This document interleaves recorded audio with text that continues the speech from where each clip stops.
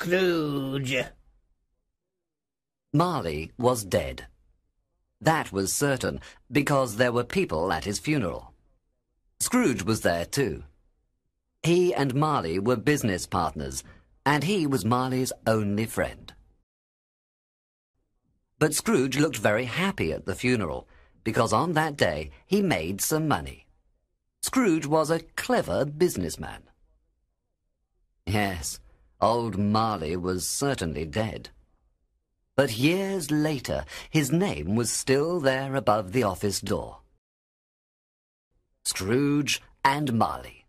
That was the company's name. Sometimes people called Scrooge Scrooge, and sometimes Marley. He always answered. It was all the same to him. Oh, but he was a mean man, Scrooge. He never spent any money, and he never gave any away. He was an old miser. And he was a cold and solitary man. The cold was inside him. You could see it in his red eyes, and on his blue nose and thin white lips.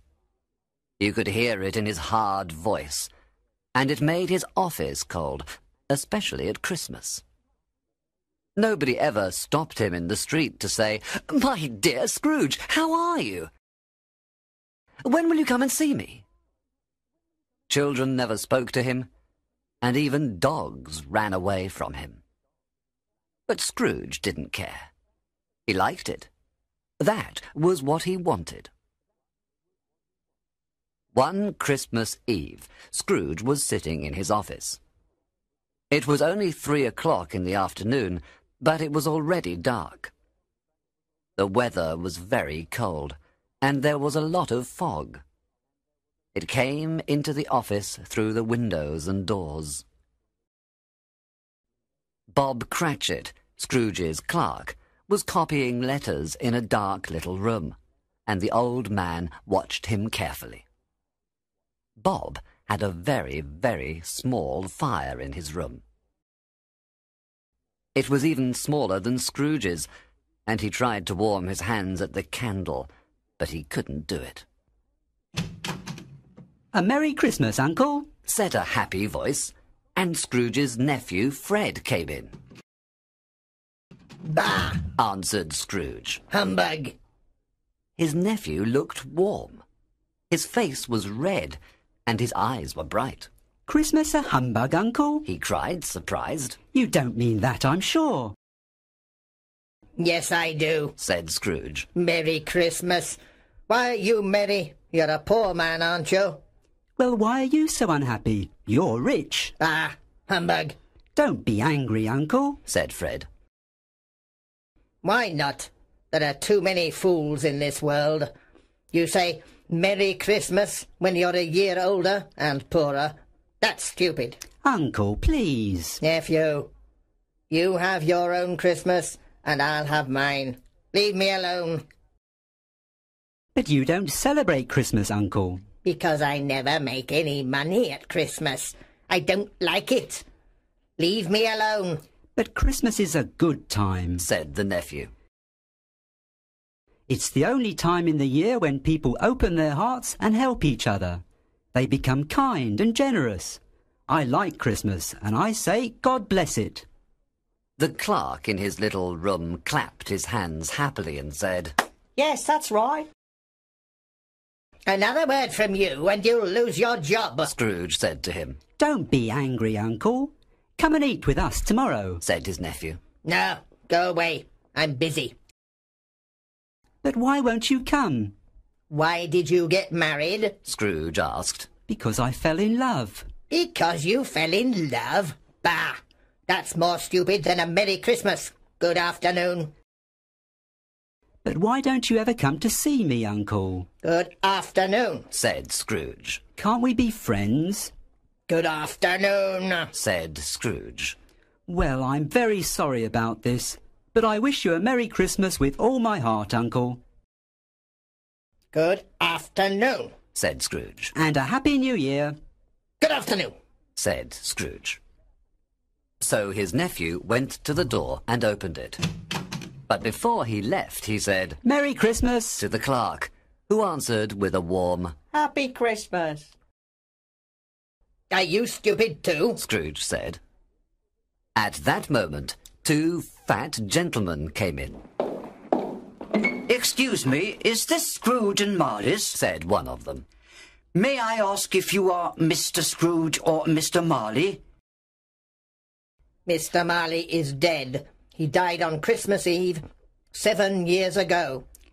At this festive time of the year, Mr. Scrooge, said the man, uh, taking a pen from his pocket. we ask people to give some money to help the poor. There are thousands of people with nothing to eat at Christmas. Aren't there any prisons? asked Scrooge. Yes, lots of them. And what about the workhouses? Aren't there still lots of them? Unfortunately, yes. Good. I'm happy to hear it. We don't think the people in the workhouses or prisons are happy about it. They don't have much to eat or drink, and they're always cold. How much can you give us, sir? Nothing. Scrooge replied. Leave me alone. I don't celebrate Christmas, and I don't give money to lazy people. I help to pay for the workhouses and prisons. That's enough.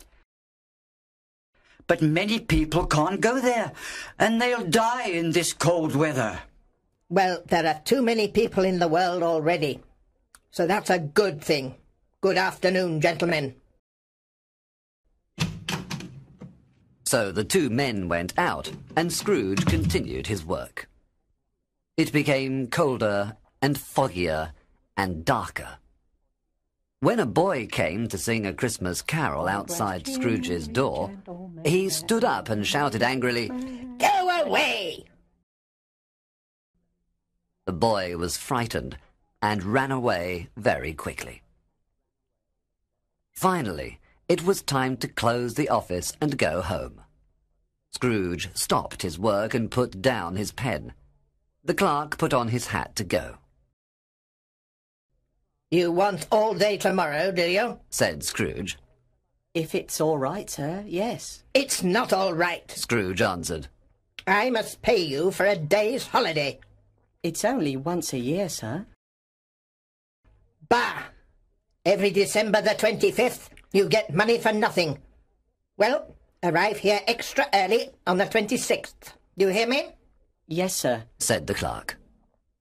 And when he left the office, he ran and danced all the way home because it was Christmas Eve. Marley's ghost. The knocker on the door was large, but it was like hundreds of other door knockers. And he wasn't thinking about Marley when he put his key in the door. So, how did he see Marley's face in the knocker? Yes, Marley's face. There was a strange light around it. It looked at Scrooge with its glasses up in its hair, like Marley when he was alive.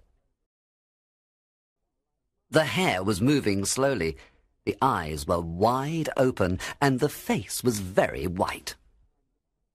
Scrooge looked at it for a moment, and then it was a knocker again. The sound echoed around the house, but Scrooge wasn't frightened of echoes, and he went slowly up the dark stairs. Then he sat in front of an old fireplace with a very small fire in it. For a moment, he thought he saw Marley's face in the fire. At first, it moved slowly and quietly. But soon it made a very loud sound, and all the bells in the house began to ring too. Scrooge heard a strange noise far away in the house, a noise of metal, like chains. He couldn't believe his eyes. The same face, Marley's face.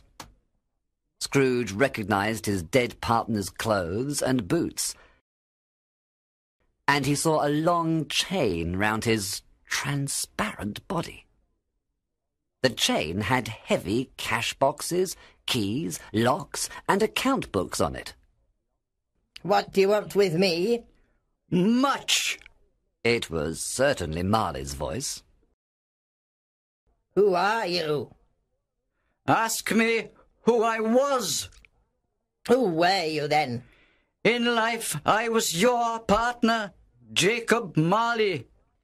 The ghost sat in a chair on the other side of the fireplace. Scrooge said this because he didn't want to show his terror. But the ghost's cold eyes frightened him very much. If I eat this candle, Scrooge continued. I'll see hundreds of ghosts like you, but they'll only be in my head. Then the spirit gave a terrible cry, Ah! and it shook its chain with a tremendous noise.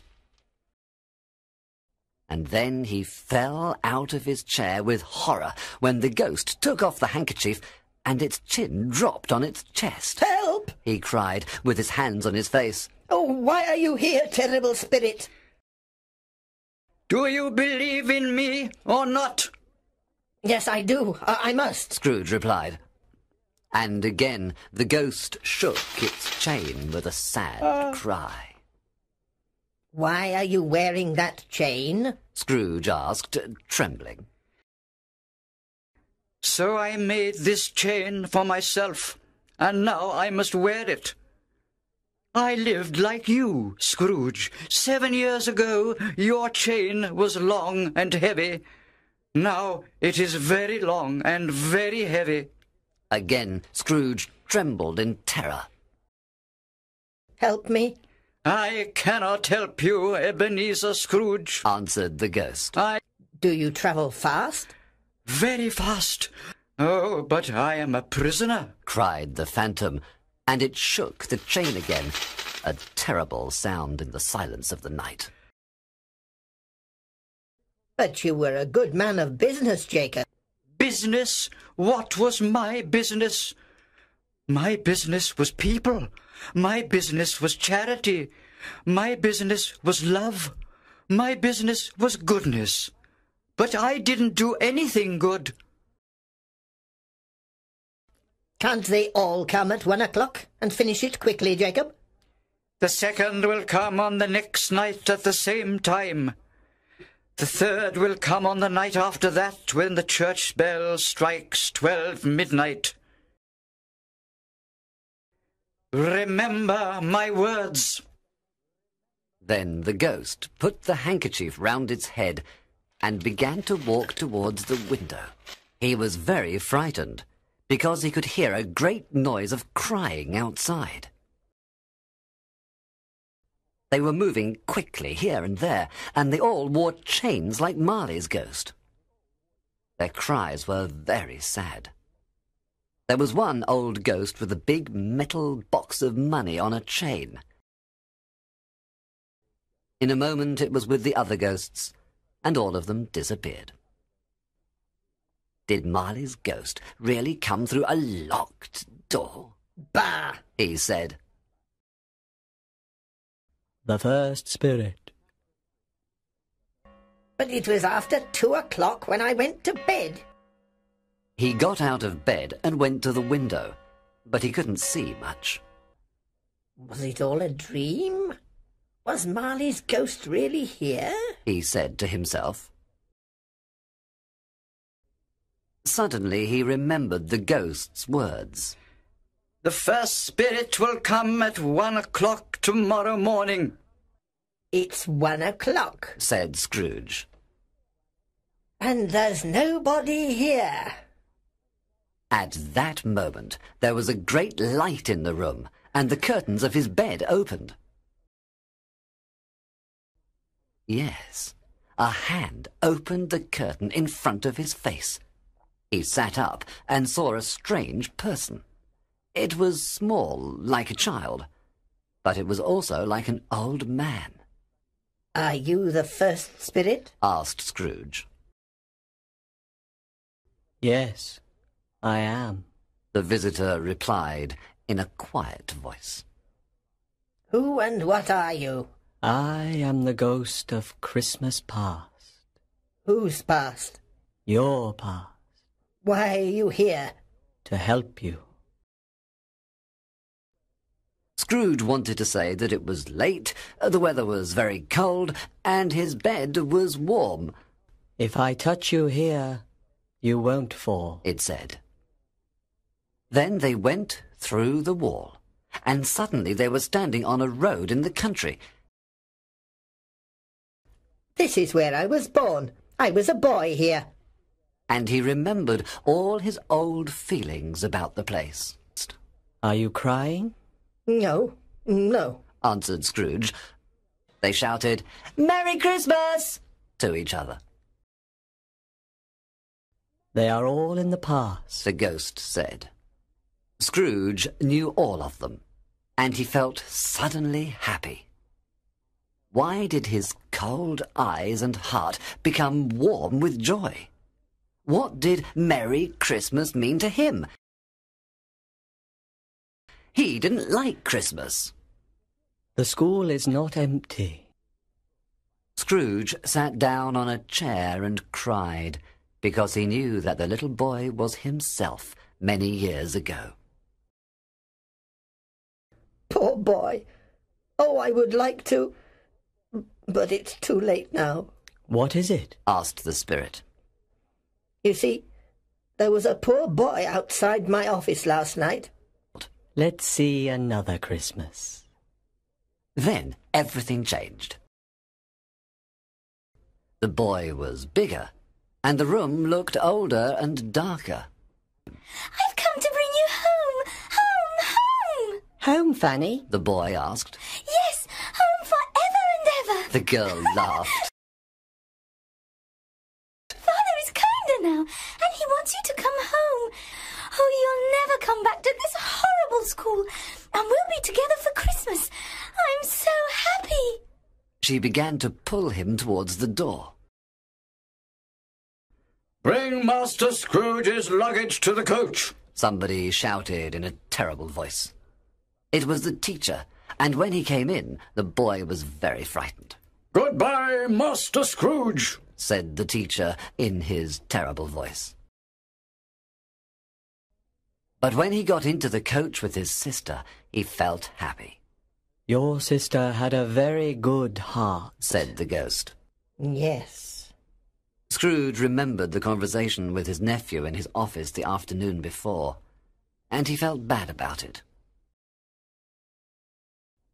Suddenly, they were standing at the door of an office in the city. I know this place very well. Uh, And there's old Mr. Fezziwig, alive again. Oh, dear old Fezziwig.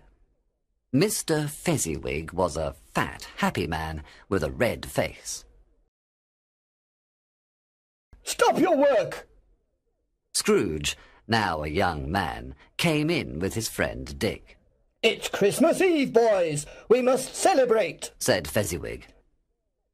So they put away all the books and papers and made a big fire. Mrs. Fezziwig and the three Miss Fezziwigs arrived. And then a lot of young people came, and everybody began to dance to the music. Then there were games and more dances, cake and hot wine, and more dances. And there was lots of roast beef and beer and mince pies too. At eleven o'clock, everybody said, Merry Christmas! And the party finished. While Scrooge was watching all this, he laughed and sang and wanted to dance. You and Dick and everybody loved Mr. Fezziwig. The ghost said to him. So why did you all love him so much? A small thing? Answered Scrooge. No. Fezziwig was our manager. So he could make us happy or unhappy. He gave us a lot of happiness, and that was like a fortune in money. Then Scrooge looked sadly at the ghost. I was thinking that I, I would like to speak to my clerk now. Come, there isn't much time. said the ghost. It was himself again, and his face showed the first signs of the problems of business and a passion for money. He was sitting next to a young girl dressed in black. You love something more than me, Ebenezer. She said. My feelings for you haven't changed, Belle. But you have changed. You aren't happy with me, and you don't want to marry me. I haven't got any money, so you don't want me. Don't show me any more. Take me home. There's one more sea. No, no more. I don't want to see it. But suddenly they were in a room where a beautiful young girl was sitting near a big fire. The room was full of children, and there was a lot of noise. But Belle and her daughter liked it, and the daughter began to play with the children. Then the father came in with a lot of Christmas presents. He gave them to the children, and they laughed and shouted happily. The father sat by the fire with his wife and daughter. Scrooge looked at them and thought, How sad that I don't have a wife and daughter. Belle? Said the husband to his wife, Spirit, take me away. said Scrooge. These things happen, The ghost answered. and they cannot be changed. Please take me back. I can't watch this any more. At that moment, the spirit disappeared, and Scrooge was in his bedroom again. The second spirit. Scrooge woke up, opened his bed curtain, and looked around. Come in, Ebenezer. The room was his room, but it was different. On the floor there was a lot of food. Turkey, goose, chicken, rabbit, pork and sausages, as well as mince pies, puddings, fruit, cakes, and hot punch. And on the sofa sat a very large man, a giant, and he was holding up a torch. Scrooge went and stood in front of this giant, but he didn't look at it, I am the ghost of Christmas present. said the spirit. Spirit, Scrooge said. take me where you want. Touch my clothes. When Scrooge did this, the room disappeared, and he stood in the city streets on Christmas morning. Then a lot of poor people came along the street with their Christmas dinners of goose or chicken. The spirit took Scrooge to one of these shops and touched some of the dinners with its torch. After a while, Scrooge followed the ghost to the suburbs of the city. Mrs. Cratchit and her daughter Belinda were preparing the table for Christmas dinner. Suddenly, two little Cratchits ran in and shouted that the goose was ready at the baker's. Belinda made some apple sauce. Mrs. Cratchit prepared the potatoes and the gravy. Martha put the hot plates on the table. When Mrs. Cratchit cut the goose, everybody cried, Hooray! Again, and Tiny Tim hit the table with his knife. Then Mrs. Cratchit brought in the Christmas pudding with brandy on it. Bob loved his son very much, and he held Tiny Tim's thin little hand, I see an empty chair replied the ghost. and a small crutch. Say he will live, kind spirit. If the future is not changed, he will not see another Christmas. Scrooge didn't answer, and he didn't look in the ghost's eyes. He felt very bad. Those were wicked words, Ebenezer Scrooge. The ghost continued. Do you think you can decide who will live or die? Are you better than this poor man's child, or millions like him? Perhaps you are worse in God's eyes. Scrooge trembled and looked at the ground. Mr. Scrooge, let's drink to Mr. Scrooge. It was Bob Cratchit, and he was holding up his glass. It's Christmas Day. I know that, but I would like to tell Mr. Scrooge what I think of him. You know how bad he is. My dear, it's Christmas Day. Well, I'll drink to him because it's Christmas. A Merry Christmas and a Happy New Year, Mr. Scrooge, but you won't be merry or happy, I know. The children drank to Scrooge too, but his name was like a dark shadow in the room, and for a few minutes they were silent. But the family was contented now because it was Christmas, and he looked at Tiny Tim very often before the family scene vanished. Scrooge and the ghost walked along the streets and saw great fires in the houses where families and friends were enjoying Christmas together. he said that Christmas was a humbug. The nephew laughed. Well, he's a strange man, and he isn't very happy. I'll say, How are you, Uncle Scrooge? Come and eat with us. Then they played some music and sang. When they played Twenty Questions, Scrooge forgot that they couldn't hear him, and he shouted his answers. A Merry Christmas and a Happy New Year to the old man, said Fred. Scrooge wanted to say this to Fred, but the scene vanished, and he and the ghost travelled again. Look, look down here. The spirit opened its coat, and Scrooge saw two children on the ground, a boy and a girl. Their eyes were sad. They looked older than children, and they were ugly, like monsters. And aren't there any workhouses? Oh, no, no. Those are my words. Scrooge cried. He looked around for the ghost, but it wasn't there. The last of the spirits. Scrooge couldn't see its face or its body because it was wearing long black clothes and a black hood. Are you the ghost of Christmas yet to come? he asked. Are you going to show me things from the future? Scrooge asked. His legs were trembling a lot, and so he couldn't follow the ghost when it moved away.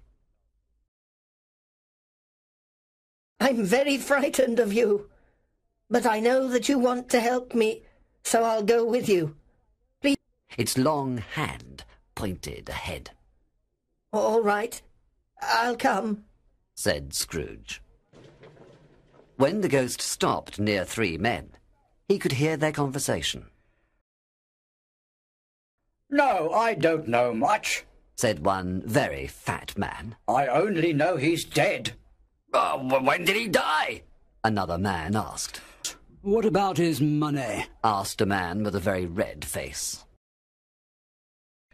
The funeral will be very cheap because only a few people will go. The fat man continued. I'll go if there's a big lunch, the red-faced man said. Then one of them said, Well, he's finally dead. Yes, I've heard, answered his companion. Old Marley died seven years ago, and this ghost was showing him the future. Wasn't he there in the future? Silent and black, the ghost stood near him. A man of about seventy with grey hair sat near a fire and smoked his pipe. I thought, what a pity. This is a very fine shirt, but nobody will wear it again. I worked very hard for him, but he never gave me anything. So, we get the profits now that he's dead. Scrooge watched this in horror. There was only an old sheet with something under it, the body of a dead man. The ghost pointed at the head, but Scrooge couldn't pull down the sheet and look at the dead man's face. Not a man, woman, or child to say that he was kind to them in life, and to remember him with love. Then he heard the sound of rats behind the walls. But the ghost still pointed at the dead man's head. I understand, Scrooge said. but I can't do it. I ask you to show me somebody who is sorry that this man is dead. The ghost took him to Bob Cratchit's house. I remember when he walked very fast with. with Tiny Tim on his shoulder. said the mother. But Tiny Tim was very light, and his father loved him so much. He was dead. Bob kissed the little face. Then he went downstairs. When I told him, he said he was very sorry and wanted to help us. He's a very good man. said Mrs. Cratchit. Scrooge said to the ghost, Oh, please tell me who that dead man was. The ghost took him near his office, but it didn't stop. Scrooge ran to the window of his office and looked in. Everything was different, including the man at the desk, Am I going to learn the dead man's name now? asked Scrooge. Is it really necessary for these things to happen, or are they only possible? The ghost didn't answer. I mean, if men change their lives and become better, will the future change too? Is this what you want to tell me? The ghost was silent. Scrooge went slowly towards the grave, still trembling. He read the name on the gravestone. Ebenezer Scrooge. He fell on his knees. I was the dead man in the bed. Oh, spirit! Oh, no, no! Listen, I- I've changed. I will celebrate Christmas with all my heart. Scrooge continued. Oh, tell me that I can clean the name off this stone. Scrooge held up his hands to the ghost, but suddenly it vanished. A Merry Christmas, Christmas, Mr. Mr. Scrooge. Scrooge. Jacob Marley, God bless Christmas. Then he put on his clothes. But the future is not here yet, and I can change it. he said, laughing and crying at the same time. What shall I do first? Oh, I feel as light as a feather. I'm as happy as an angel. A Merry Christmas to everybody. A Happy New Year to all the world. He danced in the sitting room and looked around.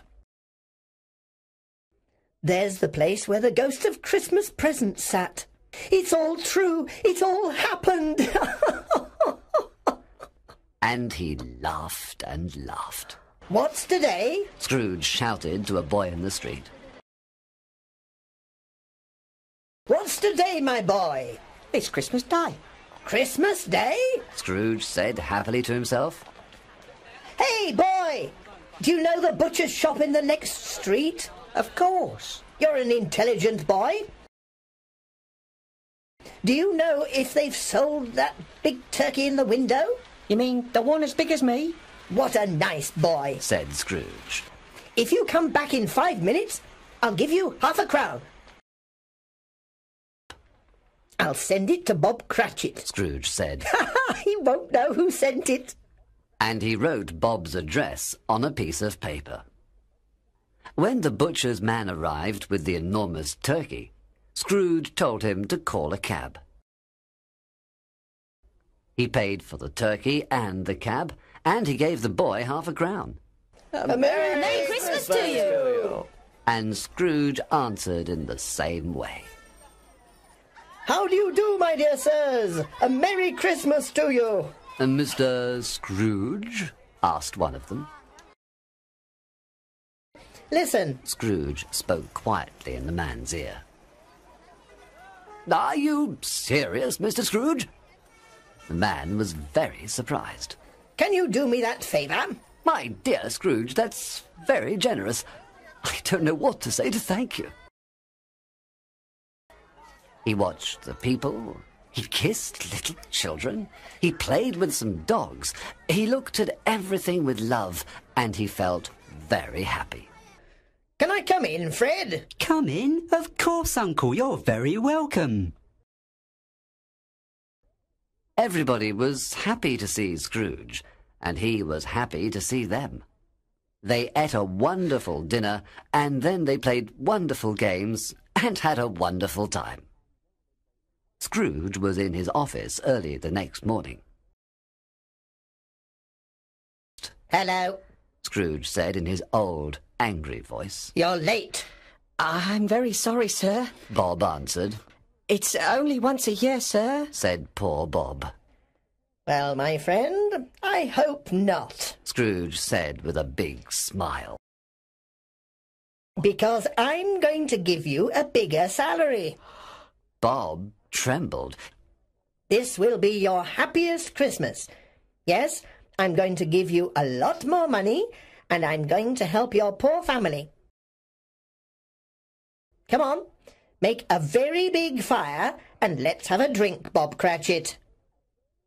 Scrooge gave Bob more money, helped his family, and did much more. Tiny Tim did not die, and Scrooge was a second father to him. He became a good friend, a good manager, and a good man. A few people laughed at him, of course, but he knew that some people always laugh at anything new, strange, and good. He often laughed now, and that was the most important thing to him. He didn't see the spirits again, and he celebrated every Christmas with all his heart.